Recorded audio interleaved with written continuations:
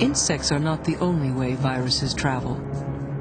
During the Korean War, thousands of GIs were felled by a strange fever. Later named after Korea's Hantan River, hantavirus caused hemorrhaging, kidney failure, and death.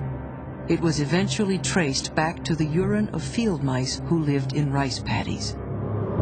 A similar illness appeared suddenly in the southwest United States in 1993.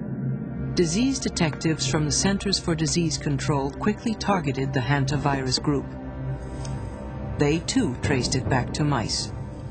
Once we had the rodent reservoir, then we had an opportunity to try to plan specific strategies so that people could avoid those particular kinds of rodents. Avoiding the rodents is all we can do. At this point, we are still vulnerable to hantaviruses. There is no effective treatment, and outbreaks are virtually impossible to predict.